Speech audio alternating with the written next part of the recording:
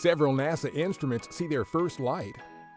Another active week for our administrator. And discover just how much space is in our daily lives.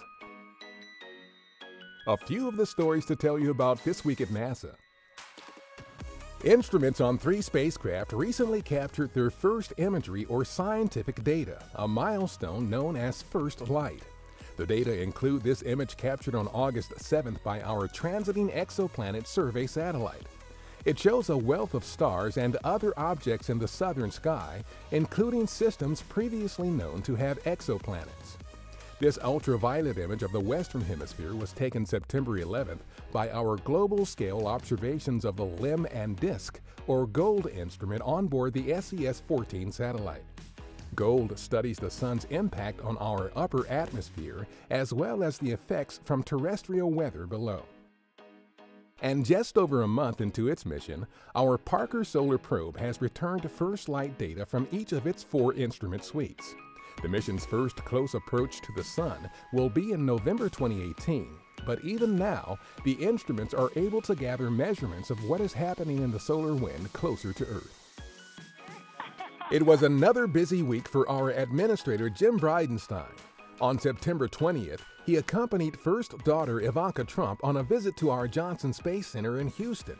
Along with center management and other dignitaries, they toured the International Space Station Flight Control Room and the facility that houses mock ups of our Orion spacecraft and other hardware used to help train astronauts for exploration missions to deep space destinations, including the Moon and Mars. On September 17th, the administrator delivered a keynote address during the 2018 AIAA Space Forum in Orlando.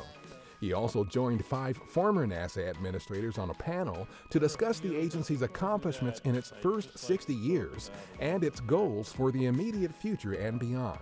We're going forward to the moon. We're doing it in a way that's never been done before. The key word being sustainably. And Space Policy Directive 1 is absolutely clear on that. And on September 18th and 19th, Bridenstine visited our Glenn Research Center in Cleveland. While there, he met with employees and toured Glenn's world class facilities, including nearby Plum Brook Station, which houses the world's largest and most powerful space environment simulation facilities. NASA Home and City is our new interactive website that lets you explore just how much NASA there is in your everyday life.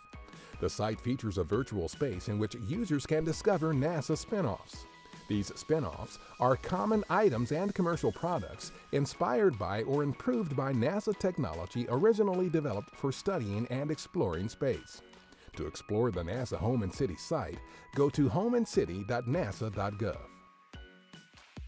That's what's up this week at NASA. For more on these and other stories, follow us on the web at nasa.gov/twan.